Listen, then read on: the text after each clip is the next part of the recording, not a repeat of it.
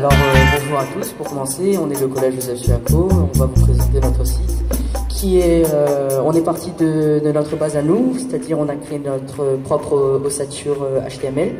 On a, on a pu créer l'ossature HTML à partir du logiciel PSPAD, avec l'histoire du Moselle et Carnas, l'architecture, et pourquoi est-ce qu'il devrait faire partie des 7 merveilles du monde, et pourquoi il fait partie des 7 merveilles du monde. où est-ce qu'on peut le trouver, comment, voilà, l'architecture et comment il est aujourd'hui, euh, en quel état il est. Donc euh, Pierre-Paul et Raphaël codage. Louise a fait les images et les gifs. Et moi j'ai préparé tout le texte et un peu d'images. On a dû tout recommencer à la dernière 作品をそす。